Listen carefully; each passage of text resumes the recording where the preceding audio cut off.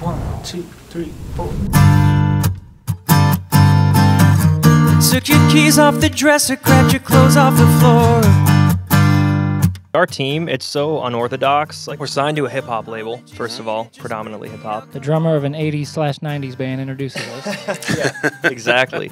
We have the same manager as Dolly Parton, so that there's that. Yeah, that's And Seether. I mean, he's he's got a dozen artists, but Kenny G, Seether, Dolly Parton, KC and the Sunshine Band, hmm. Above Waves.